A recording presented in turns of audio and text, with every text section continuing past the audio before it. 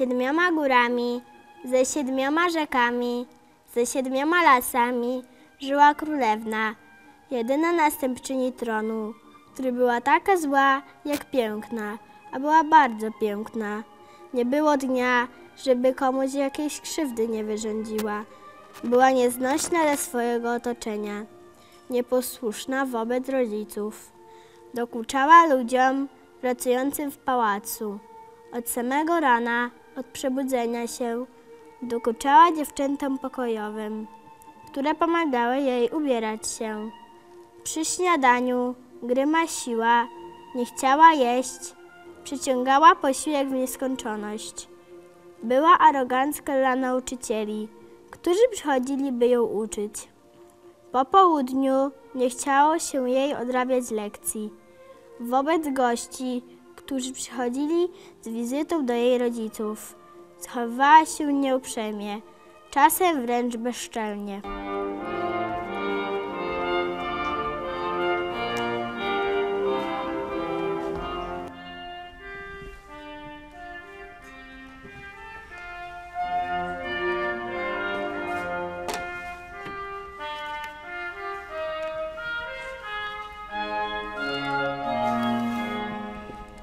Nasza córeczka jak zwykle się spóźnia. Nie mogę sobie z nią poradzić. Ani prośby, ani nagany nie przynoszą żadnego skutku.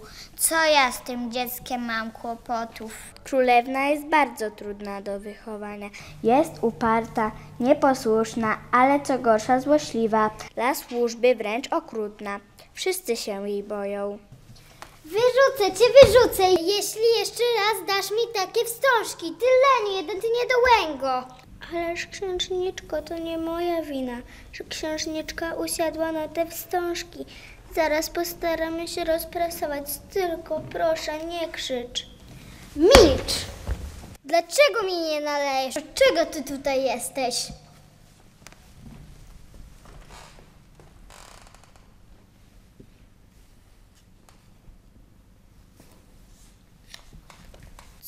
Jak ty się zachowujesz? A bo co? Komu się nie podobam, niech na mnie nie patrzy. Ależ córeczko, jak ty się odnosisz do ojca? Wczoraj nie chciała odrabiać lekcji. Nauczycielka skarżyła się, że jest bardzo niegrzeczna. Wczoraj ze złości podarła książkę i rzuciła w nią nauczycielkę. Żadnych lekcji też nie chce jej się odrabiać. Całe popołudnie spędza w ogrodzie. Jedyne, co nasza niedobra córka lubi, to kwiaty. O tak, sam widziałem, jak dogląda robotników i własnymi rękoma pielęgnuje kwiaty. Ona nawet rozmawia z kwiatami, słyszałam. To dla nas mała pociecha, gdy dla ludzi jest zła. Przez to nikt jej nie kocha, nie ma żadnych przyjaciół. Czy będzie w życiu szczęśliwa?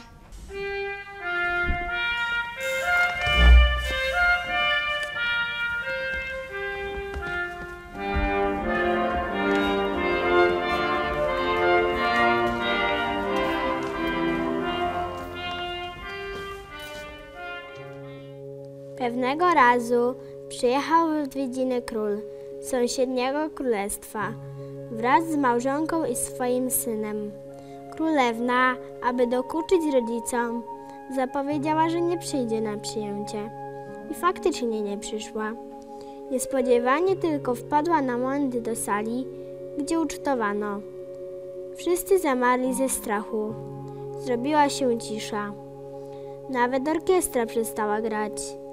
Ale na szczęście nie doszło do żadnej awantury. Bez jednego słowa przeszła przez salę i znikła. Wszyscy odetchnęli z ulgą. Wtedy właśnie królewicz zobaczył ją i od pierwszego wejrzenia zakochał się w niej.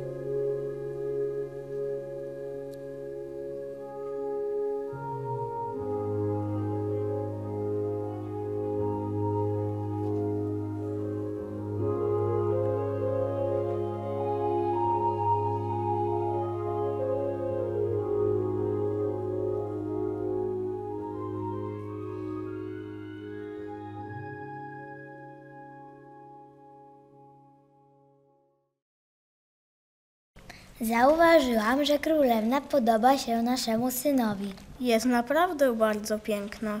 Cóż z tego, gdy równocześnie jest taka zła? Czy byłaby dobrą żoną, gdy brak jej zupełnie serca? Nawet dla własnych rodziców, nie mówiąc już o innych. Co nam powiesz, synu? Chcę królewnę pojąć za żonę. Synu, niech cię nie fascynuje jej piękność. Królewna to osoba bez serca, egoistka, która kocha tylko siebie. Po pierwsze, nie wiadomo, czy ona zechce, żebyś był jej mężem. A po drugie, czy ty wiesz, jaka ona jest? Do wszystkich ludzi, nawet do własnych rodziców, odnosi się bardzo źle. Służbową miata nauczycieli lekceważy, jest leniwa, samolubna, awanturuje się, gdy coś nie jest po jej myśli. Wszyscy jej się boją, nikt jej nie kocha. To nie żona dla ciebie, synku. Chciałbym jednak jechać do pałacu królewny. Możesz nam powiedzieć po co? Chcę, by się zmieniła. Spróbuję jej w tym pomóc. Jak to sobie wyobrażasz? Dokładnie jeszcze nie wiem, jak to zrobię, ale spróbuję. Pojadę tam w przebraniu i zgłoszę się do, do pracy jako ogrodnik, bo ona podobno często przebywa w ogrodzie. To wszystko, co dalej nie wiem. Okaże się na miejscu. Może życie podsunie inne rozwiązanie. Jeśli koniecznie chcesz. Niech cię Bóg prowadzi.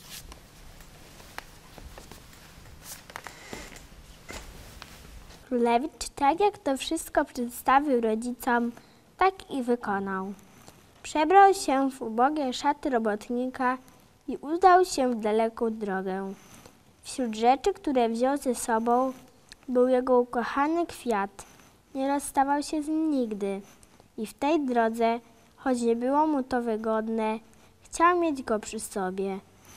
Gdy przybył do pałacu królewny, poszedł do ogrodu.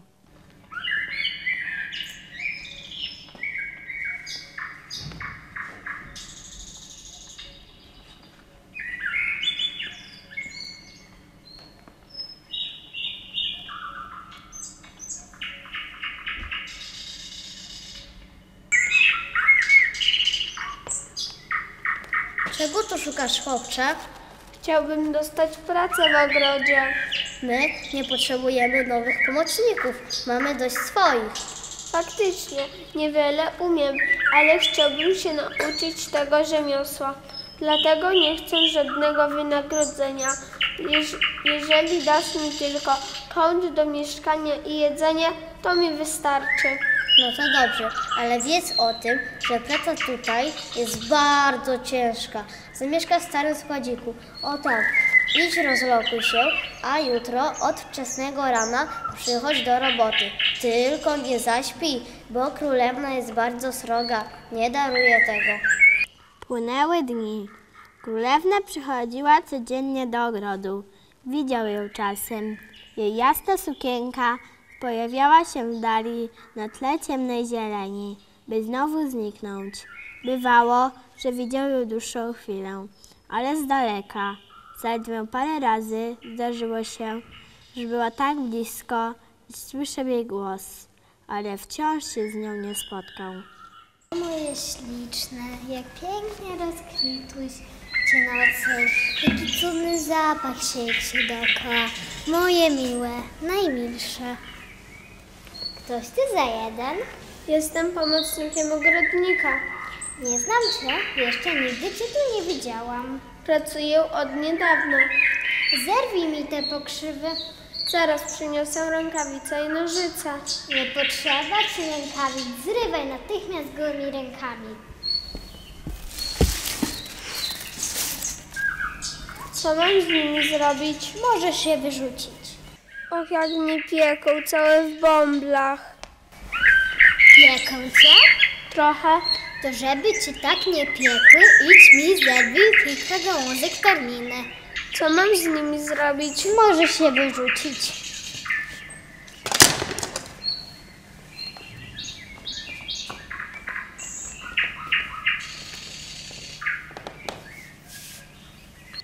Och, jak mnie pieką i bolą ręce. I cały czuję się jakoś dziwnie. Pod wieczór Królewicz poczuł się chory. W nocy nie mógł spać. Czuł rosnącą gorączkę. Następnego dnia nie poszedł do pracy. Został w swoim pokoju, w łóżku. Tymczasem królewna przyszła znowu do ogrodu, ale nigdzie nie mogła znaleźć królewicza. Spytała o niego, o niego ogrodnika, a dowiedziawszy się, że chłopak leży chory, postanowiła pójść do niego. Co to ma znaczyć to wylegiwanie się w łóżku? Jestem chory, mam gorączkę. Ty leniu jeden, przez takie głupstwa nie przychodzisz do pracy, za co dostajesz pieniądze? Za leżenie?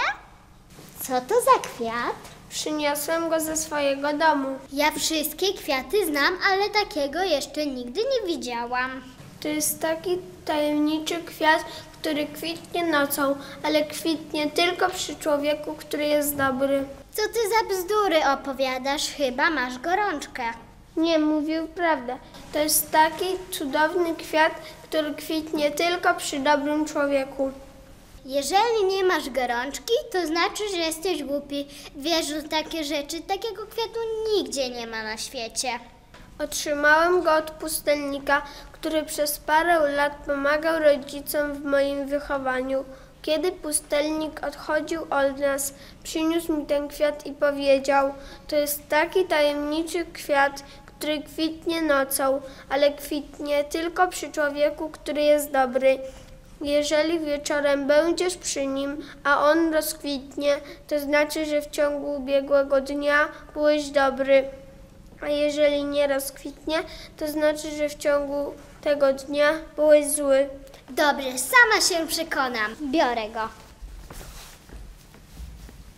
Zaniosła do swojego pokoju, postawiła na stole. Była bardzo ciekawa, ile w tym prawdy, co chłopiec mówił. Nie mogła się doczekać wieczoru. Gdy wreszcie słońce zaszło, zrobiło się ciemno, zapadła noc. Królewna usiadła przy kwiecie i patrzyła w jego pąk. Nadeszła północ. Zegar powoli wybił dwanaście uderzeń, ale stulony kwiat nawet nie drgnął. I wtedy zrozumiała, że chłopiec zakpił z niej. Ze złości, że dała się oszukać prostemu chłopcu, ze złości, że on, prosty chłopiec, śmiał oszukać ją, królewnę. Nie spała całą noc. Skoro świt, pobiegła do młodego ogrodnika i zrobiła mu straszną awanturę. Jak śmiałeś tak ze mnie zakpić? Naprawdę nie miałem takiego zamiaru. Milcz, nie chcę cię wcale słuchać, ale pamiętaj, nie życzę sobie, żebyś tu dalej pracował. Wynoś się stąd i z mojego ogrodu. Dobrze, mogę stąd odejść, ale jak tylko wyzdrowieję, ale pozwól sobie powiedzieć, że to, co mówię, nie jest kpiną, to prawda. A czy tobie chociaż raz się ten kwiat otworzył? Tak, i to nie jeden raz. A mnie się nie otworzył? Dziwisz się? Dobrze, zobaczymy. Dzisiaj będę idealna. Przekonam się, czy ogrodnik mówił prawdę. Od samego rana, gdy tylko wróciła do swojego pokoju, była bardzo dobra dla wszystkich. Najpierw dla dziewcząt, które pomagały jej się zawsze ubierać, potem dla rodziców przy śniadaniu, dla nauczycieli przed południem. W całym pałacu rozeszła się natychmiast wieść, że z królewną coś się stało. Nie krzyczy, nie awanturuje się, nie rzuca talerzami, nie wyzywa, nie wyrzuca za drzwi. Albo jest chora, albo planuje jakąś większą awanturę. Wszyscy czekali w największym napięciu, do czego dojdzie. Przy obiedzie obsługujący spodziewali się co chwila, że albo wsadzi im wazę z zupą na głowę, albo ściągnie obrus. Ale ona zachowała się wzorowo. Po południu odrobiła solidnie zadane lekcje. Dla gości była bardzo uprzejma. Odgadywała ich życzenia. Zabawiała jak umiała najmilej. Tylko nikt nie wiedział o jej sekrecie, a ona z największym napięciem czekała na nadejście wieczoru. Ledwo słońce zaszło, królewna wymknęła się od gości. udała się do swojego pokoju. Nie zapalała światła, żeby jej nikt tam nie odnalazł.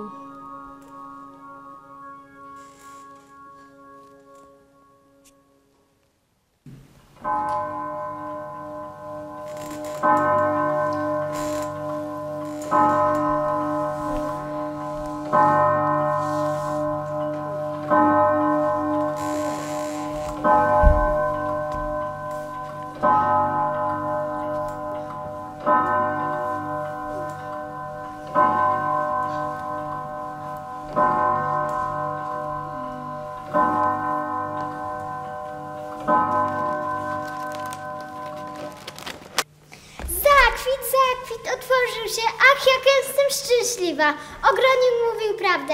mu to zaraz powiedzieć.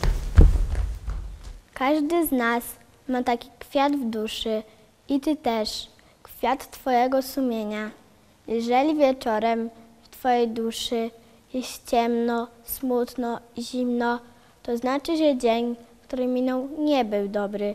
A jeżeli wieczorem twoja dusza napełniona jest szczęściem, światłem i muzyką, to znaczy, że twój dzień był dobry. Ten świat?